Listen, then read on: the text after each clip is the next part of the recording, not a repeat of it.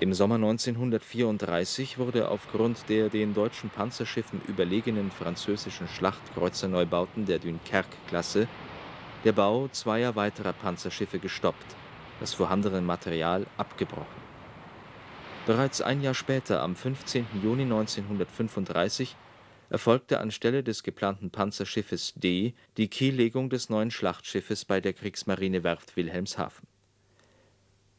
Die deutschen Werke Kiel hatten bereits drei Wochen vorher, am 6. Mai 1935, mit der Kiellegung des zweiten Schlachtschiffes anstelle des Panzerschiffes E begonnen.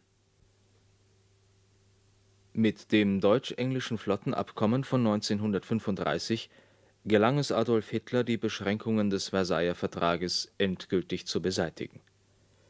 Das Deutsche Reich konnte fortan 35 Prozent der britischen Überwasserkriegsschiffstonnage nach eigenem Ermessen verbauen. Die beiden zunächst heimlich begonnenen Schlachtschiff-Neubauten der Scharnhorst-Klasse waren damit nachträglich legalisiert. Am 3. Oktober 1936 war es endlich soweit. Unter großer Anteilnahme der Bevölkerung und der Anwesenheit des Reichskanzlers Adolf Hitler erfolgte der Stapellauf des Schlachtschiffes D, das den Namen Scharnhorst erhielt. Die Taufrede hielt Reichskriegsminister Generalfeldmarschall von Blomberg. Die Taufe vollzog die Witwe des am 8. Dezember 1914 als Kommandant des Großen Kreuzers Scharnhorst vor den Falklandinseln mit seinem Schiff untergegangenen Kapitäns zur See, Felix Schulz. So wurde der 3. Oktober nicht nur die Geburtsstunde des ersten Schlachtschiffes der neuen Kriegsmarine, sondern auch der Beginn einer sichtbar gewordenen neuen Ära deutschen Großkampfschiffbaus. Nun begann die Ausrüstung. Es erfolgte der Einbau einer Vielzahl technischer Geräte, der Geschütztürme und die systematische Montage der Schiffsaufbauten. Nach fortgeschrittener Bauzeit konnte man allmählich die endgültigen Konturen des neuen Schlachtschiffes erkennen. Während das in Kiel erbaute Schwesterschiff Gneisenau bereits am 21. Mai 1938 in Dienst gestellt werden konnte, erfolgte bedingt durch materielle Engpässe die Indienststellung der Scharnhorst nach ungewöhnlich langer Ausrüstungszeit erst 27 Monate nach dem Stapellauf am 7. Januar 1939. Wurde ein neues Schlachtschiff der deutschen Kriegsmarine in Dienst gestellt. Es trägt den Namen Scharnhorst, des großen Schöpfers preußisch-deutscher Wehrkraft. Das Kriegsschiff hat 26.000 Tonnen Wasserverdrängung bei einer Länge von 226 Metern. 1460 Offiziere und Mannschaften bilden die Besatzung.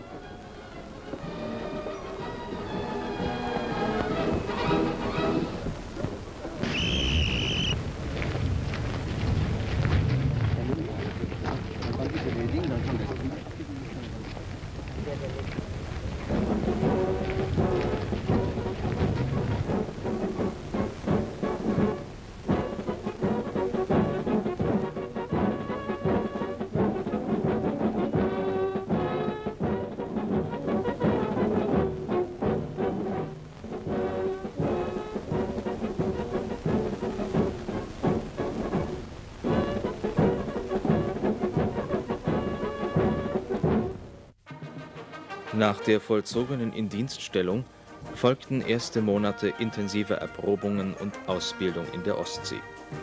Kurzaufenthalte in Pillau, Memel, Sassnitz und wiederholt Kiel machten die Ausbildungszeit für die Besatzung abwechslungsreich und interessant.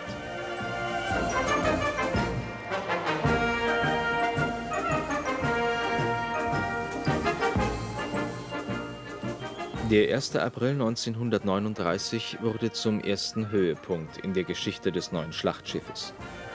Die Scharnhorst hatte in ihren Heimathafen Wilhelmshaven verlegt und fungierte als größtes anwesendes Kampfschiff der Kriegsmarine als Flaggschiff während der stehenden Flottenparade der schwimmenden Einheiten anlässlich des Stapellaufes des Schlachtschiffes Tirpitz.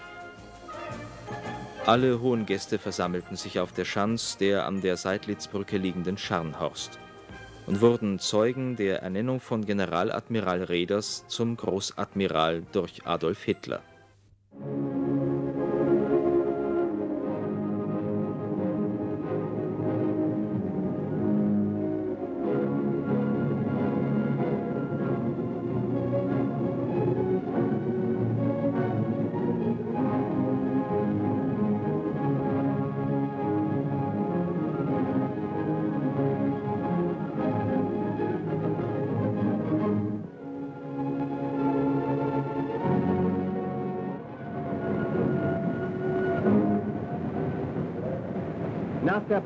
Begab sich der Führer an Bord des Schlachtschiffes Scharnhorst, wo er Generaladmiral Räder in Würdigung seiner Arbeit um die Erneuerung und Festigung der deutschen Seemacht zum Großadmiral beförderte.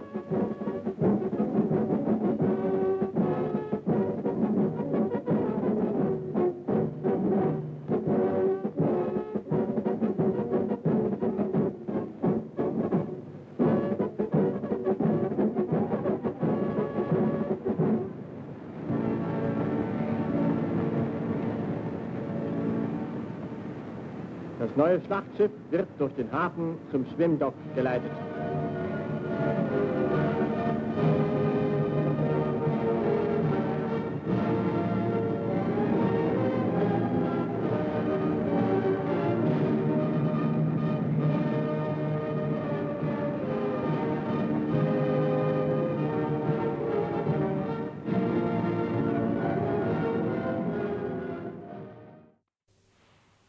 Während der ersten Erprobungsfahrten der Scharnhorst hatte sich der zu niedrige Freibord als Nachteil erwiesen.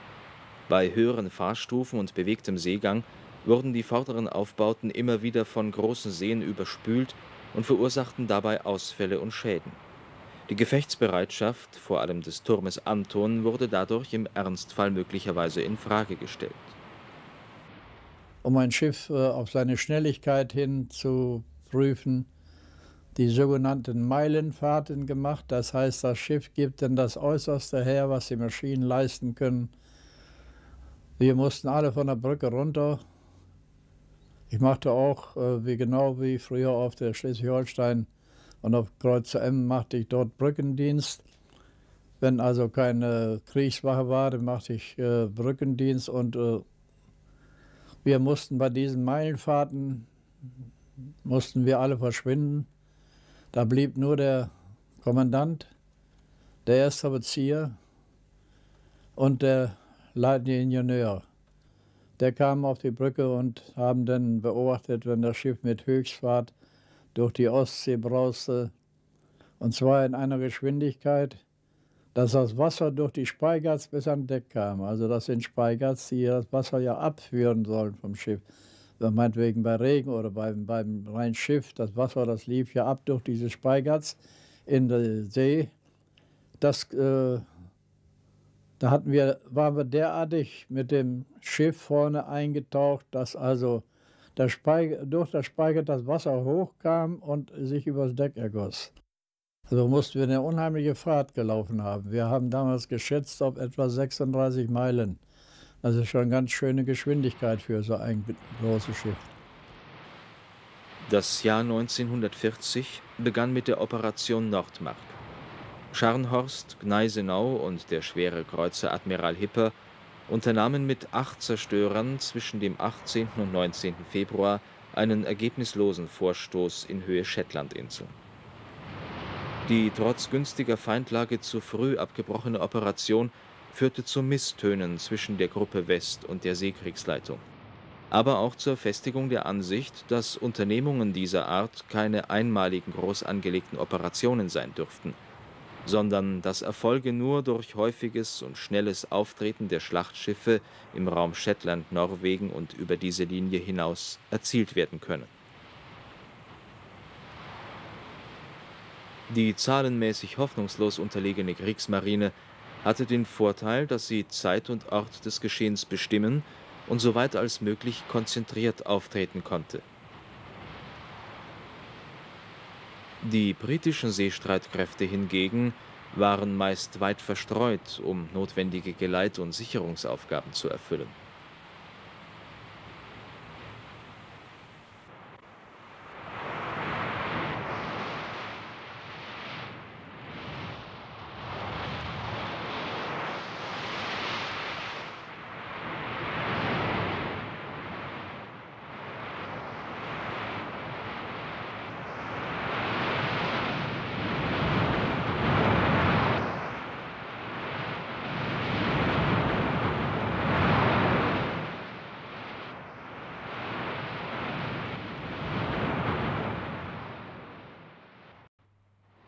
Der Ausbildungsstand der Besatzung wurde natürlich neben all den technischen Erprobungen intensiv vorangetrieben. Zahlreiche Übungen in den unterschiedlichsten Sektionen der Gneisenau sollten den Ernstfall erproben und dafür sorgen, dass man allezeit gut vorbereitet war.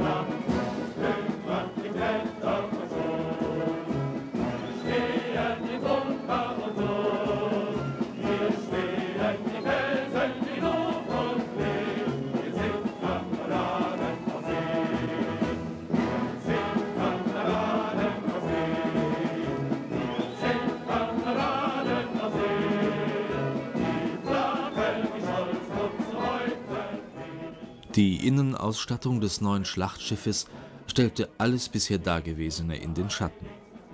Es schien, als hätte man wirklich an alles gedacht. Für den Komfort, für die Unterbringung und Verpflegung sowie Versorgung der Besatzung wurden für damalige Verhältnisse völlig neue Maßstäbe gesetzt.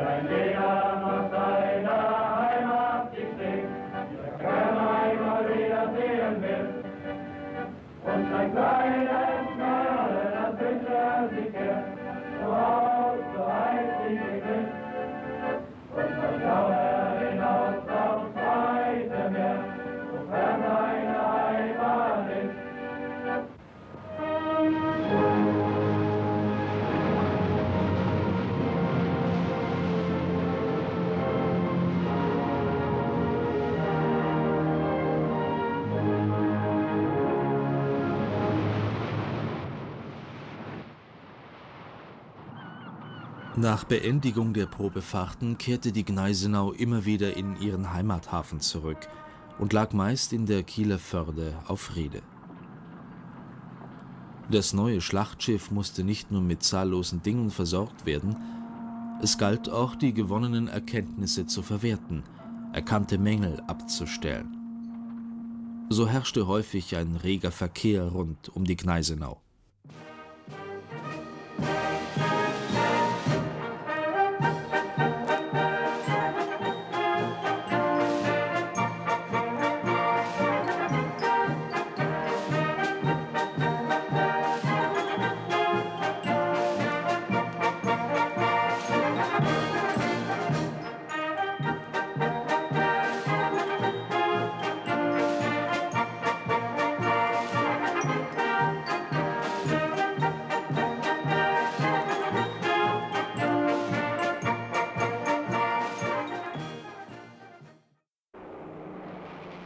Die Briten waren ständig bemüht, den jeweiligen Standort der Schlachtschiffe zu erkunden. Zu diesem Zweck tauchten immer wieder Aufklärer über den deutschen Häfen auf, um auszukundschaften, wo die schweren Einheiten ankerten. Die Royal Navy war zwar der Kriegsmarine in jeder Hinsicht zahlenmäßig weit überlegen, sie musste dafür aber auch das Seegebiet vom Eismeer bis zum Ärmelkanal permanent überwachen, um einen möglichen Ausbruch schwerer deutscher Überwasserstreitkräfte in den freien Atlantik zu verhindern. Zu diesem Zweck musste eine große Anzahl von Schiffen über die betreffenden Seegebiete verteilt werden nur so bestand die Möglichkeit, den Gegner gegebenenfalls rechtzeitig abzufangen. Die Konzentration der Schlachtflotte vor den deutschen Stützpunkten, wie im Ersten Weltkrieg geschehen, war nun aufgrund der Luftbedrohung nicht mehr möglich. Die versammelten Schlachtschiffe wären eine zu leichte Beute für die deutschen Sturzkampfbomber geworden. Man musste daher die Seegebiete weiträumig sperren möglichst außerhalb der Reichweite feindlicher Flugzeuge. Dies war vor allem in den nördlichen Gewässern bei häufig wechselnden Sicht- und Wetterverhältnissen ein schwieriges Unterfangen.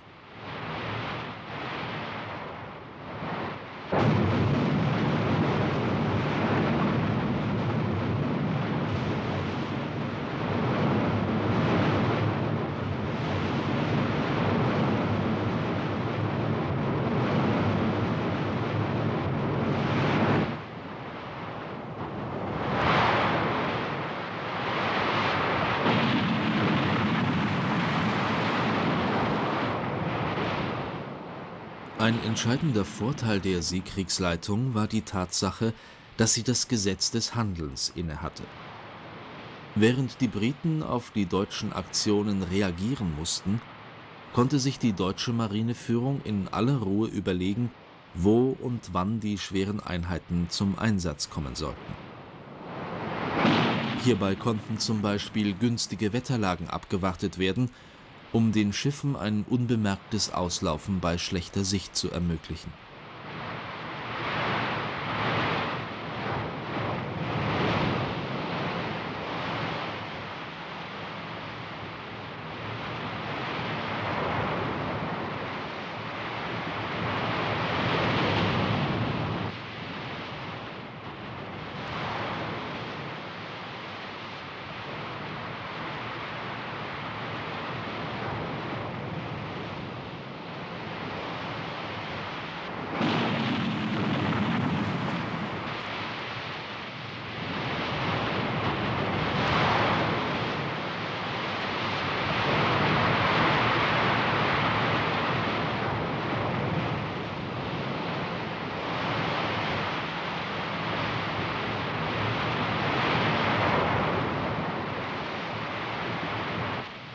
Die britische Marine hingegen musste alles versuchen, um Scharnhorst und Gneisenau möglichst weit ab von ihren Stützpunkten zum Kampf zu stellen, um sie dann mit ihren artilleristisch überlegenen Schlachtschiffen zu vernichten.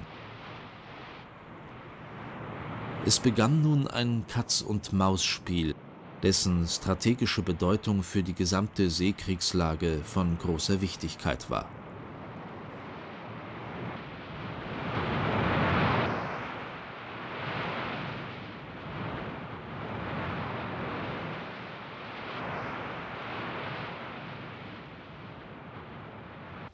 Ab dem 15. Januar 1941 sind Gneisenau und Scharnhorst endlich wieder einsatzbereit. Die Schiffe machen seeklar für eine neue große Feindfahrt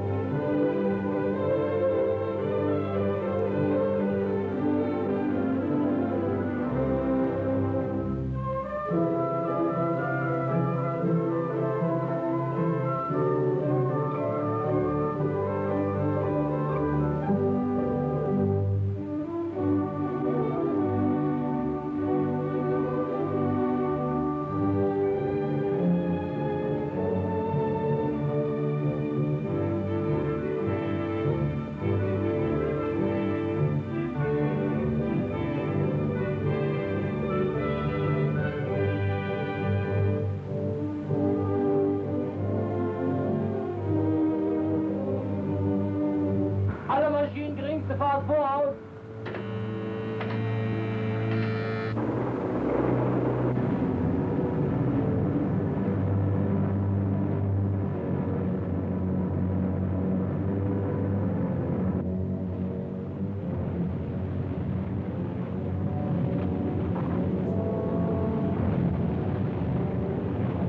Am 22. Januar 1941 begann das längste und erfolgreichste Unternehmen der beiden Schwesterschiffe. Auslaufend aus Kiel starten sie zum Unternehmen Berlin.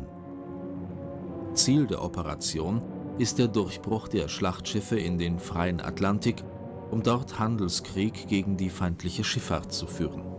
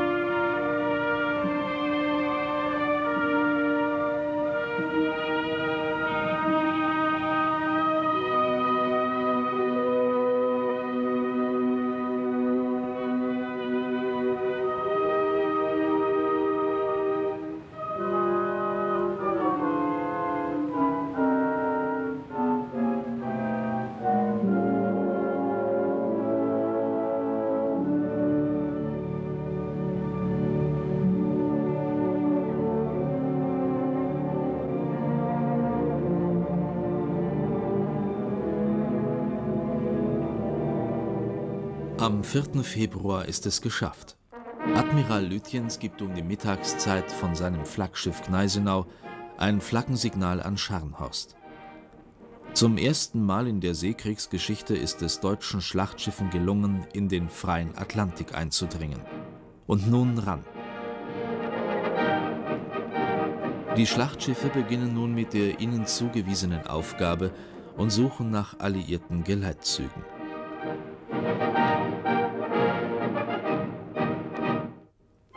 Da sich Admiral Lütjens streng an die Weisungen der Seekriegsleitung hält, Geleitzügen, die mit Schlachtschiffen gedeckt sind, auszuweichen und diese nicht anzugreifen, bleiben als Ziel nur Einzelfahrer.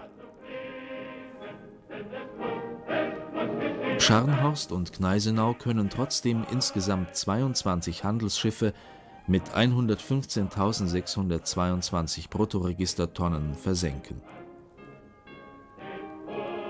Zusätzlich werden drei abgefangene Tanker als Brise nach Frankreich in Marsch gesetzt, von denen jedoch nur einer durchkam.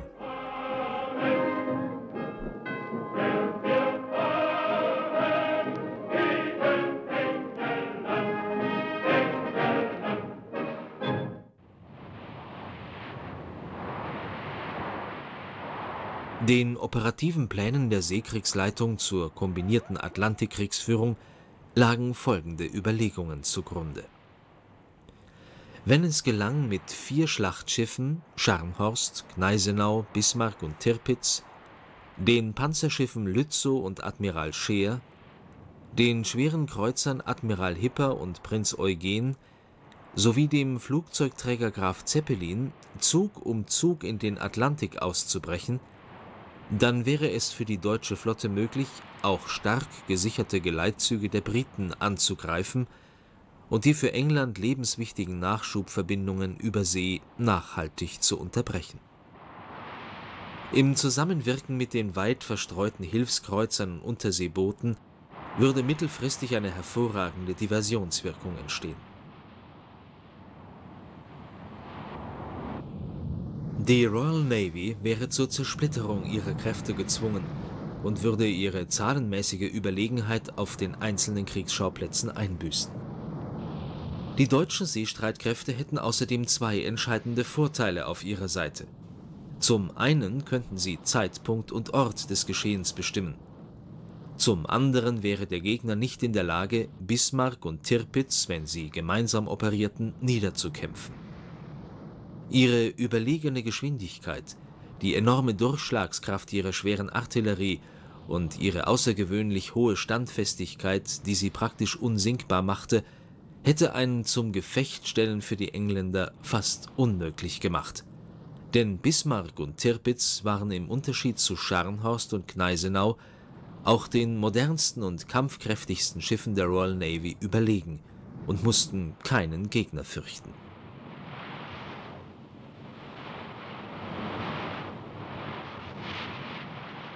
Großbritannien verfügte im April 1941 über 14 Schlachtschiffe und drei Schlachtkreuzer. Zehn Schlachtschiffe stammten jedoch noch aus der Zeit des Ersten Weltkrieges. Obwohl alle über je acht 38,1 cm Geschütze verfügten, machte sie ihre zu geringe Geschwindigkeit von 22 bis 24 Knoten für Verfolgungen ungeeignet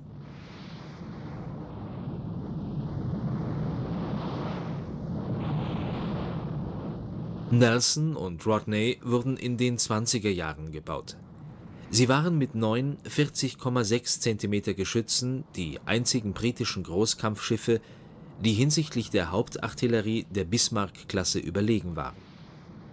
Mit 23 Knoten Höchstgeschwindigkeit blieben jedoch auch sie um fast 10 Knoten hinter den deutschen Schiffen zurück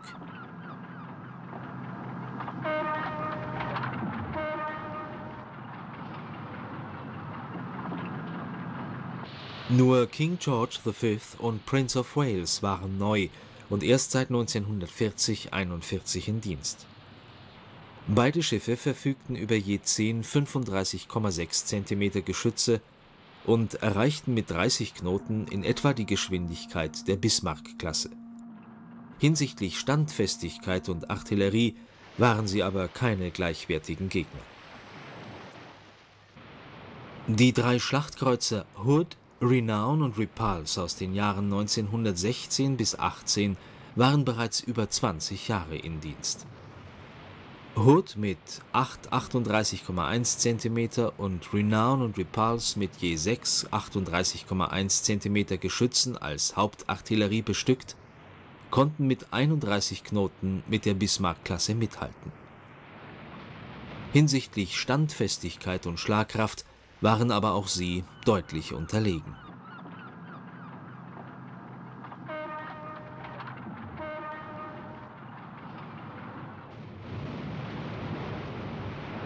Mit dem Atlantikdurchbruch von Scharnhorst und Gneisenau war im Januar 1941 bereits die erste Etappe zur Atlantikkriegsführung mit schweren Überwassereinheiten erfolgreich absolviert Wenn es nun der Kriegsmarine gelang, die Schlachtschiffe der Bismarck-Klasse ebenfalls in den Atlantik zu führen und diese sich mit Scharnhorst und Gneisenau vereinigten, dann würde eine vollkommen neue Situation entstehen.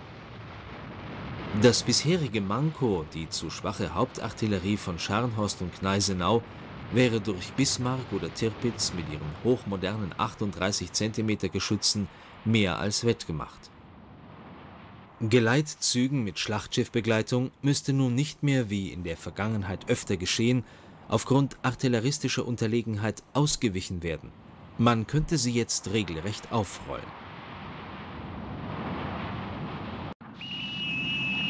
Achtzehnter Mai, 10.30 Uhr. Der Flottenchef Admiral Lütjens begibt sich zur Besichtigung an Bord von Prinz Eugen. Der schwere Kreuzer war am 22. August 1938 in Kiel vom Stapel gelaufen und hatte am 1. August 1940 in Dienst gestellt. Er war das modernste Schiff seiner Klasse und erreichte bei voller Ausrüstung eine Wasserverdrängung von über 19.000 Tonnen. Bewaffnet mit acht 20,3 cm Geschützen als Hauptartillerie und zwölf 10,5 cm Flakkanonen verfügte Prinz Eugen über eine für schwere Kreuzer standardisierte Bewaffnung. Mit seinen 33,5 Knoten Höchstgeschwindigkeit übertraf er sogar Bismarck um rund zweieinhalb Knoten. 11 Uhr. Beide Schiffe machen seeklar. Zuerst Prinz Eugen, dann folgt die am Seebahnhof liegende Bismarck. Die beiden Kampfschiffe verlegen vor Gotenhafen auf Rede und beginnen mit der Brennstoffübernahme.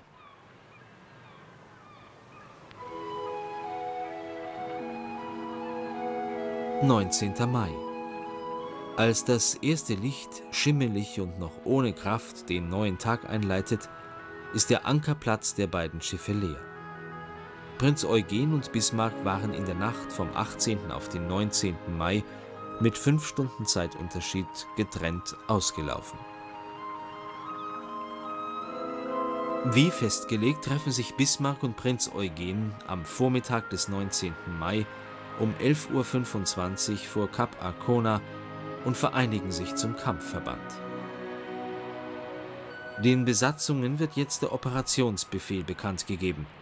Die Bordkapelle des Prinzen spielt zum ersten Mal den Prinz-Eugen-Marsch.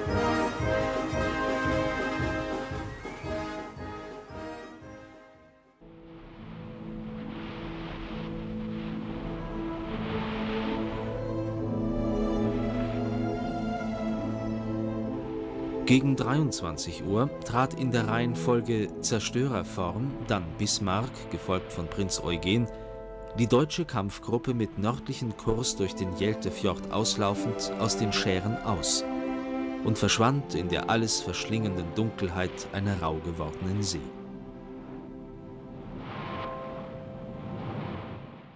»27. Juni 1942. Wieder verlässt ein Geleitzug Island. Zwei Drittel der Handelsschiffe sind Amerikaner. PQ-17 läuft mit 36 Frachtern im engen Geleit von sechs Zerstörern, vier Korvetten, drei Minenräumbooten, zwei Luftabwehrschiffen, vier Trawlern, bewaffneten Fischdampfern und zwei U-Booten aus Reykjavik aus. Als Zielhafen ist erneut Murmansk vorgesehen. Die Fracht ist ausgesprochen wertvoll. 297 Flugzeuge, 594 Panzer, 4246 Lastwagen und Selbstfahrlafetten und 160.000 Tonnen sonstige Ladung im Wert von rund 700 Millionen Dollar befinden sich an Bord der Frachtschiffe und reichen aus, um eine 50.000 Mann Armee auszurüsten.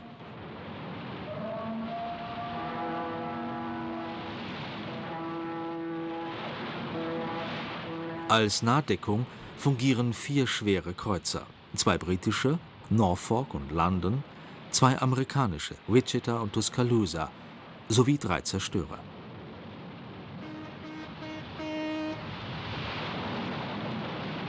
Die Fernsicherung übernehmen der Flugzeugträger Victorious, die Schlachtschiffe Duke of York und Washington, der schwere Kreuzer Cumberland, der leichte Kreuzer Nigeria und 14 Zerstörer.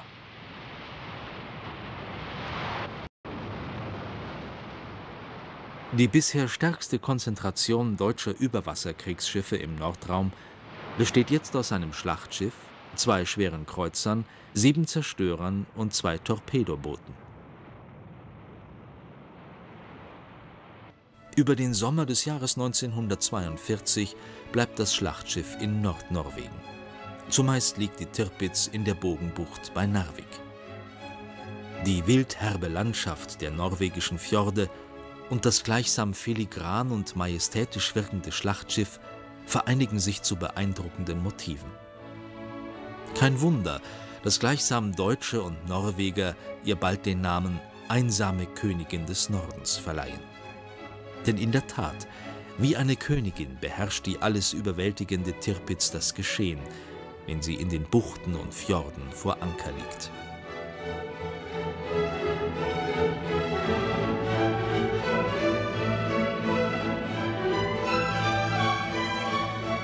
Über die Sommermonate des Jahres 1942 werden von den nordnorwegischen Flottenstützpunkten Alta Fjord und Bogenbucht ausgehend zahlreiche Manöver mit den schweren Überwasserstreitkräften durchgeführt.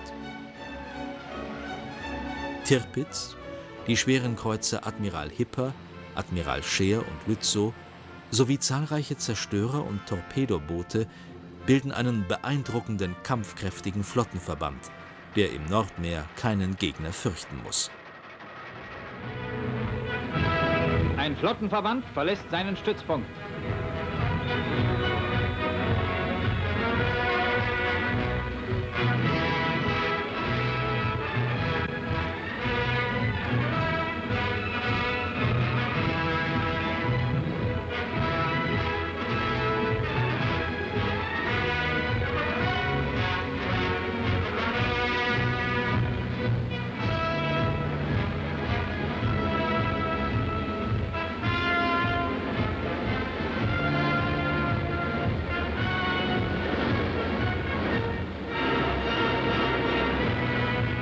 Verbände der Luftwaffe überwachen in ausgedehnten Flügen die weiten Küstengebiete und packen den Feind, wo immer er sich zeigt.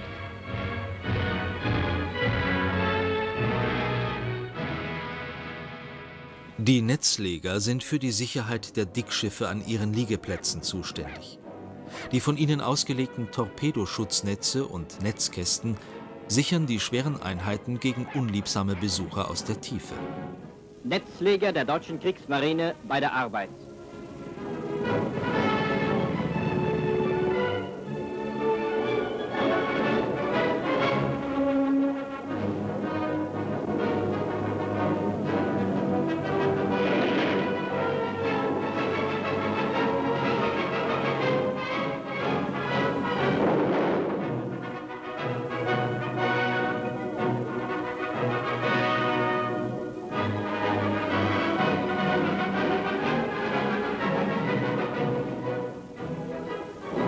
U-Boot-Netze werden klar zum Auslegen gemacht.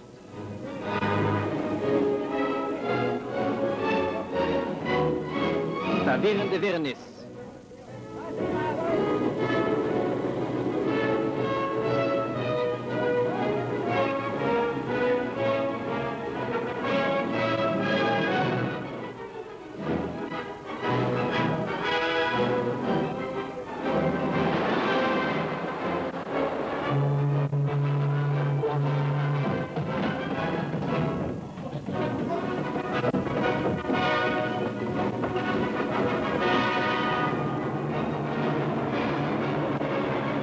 Fliegerangriff ruft die Männer an die Geschütze.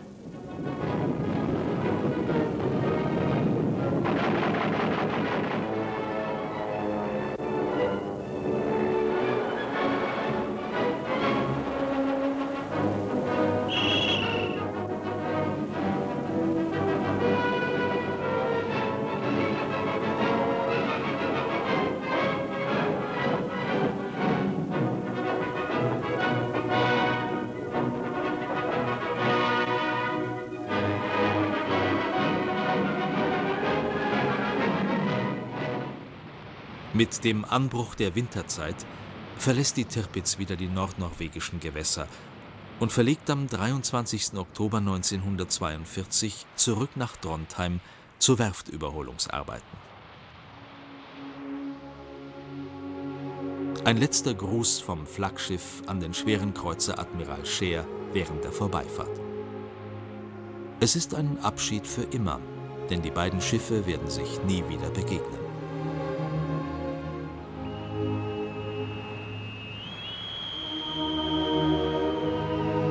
Ein außerordentlich erfolgreiches Jahr neigt sich seinem Ende entgegen. In der Stille der nordischen Nacht vollzieht sich der Jahreswechsel 1942-43. Der stolze Riese zur See liegt friedlich und still an seinem alten Liegeplatz im Fettenfjord.